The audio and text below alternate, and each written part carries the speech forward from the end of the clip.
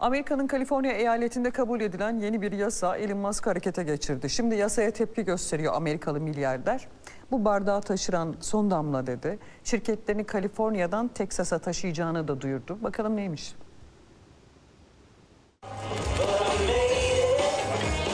Amerikalı milyarder Elon Musk okullarla ilgili yasa bardağı taşıran son damla oldu dedi.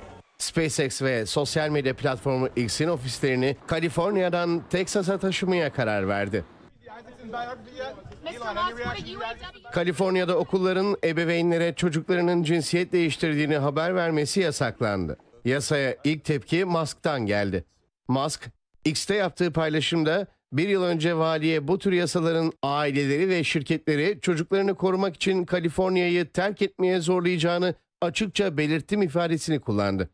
Bunun bardağı taşıran son damla olduğunu söyleyerek şirketlerinin Kaliforniya'dan Teksas'a taşınacağını açıkladı. Kaliforniya valisi Gavin Newsom, Musk'ın şirketlerini taşıma kararı sonrası X hesabından bir paylaşım yaptı.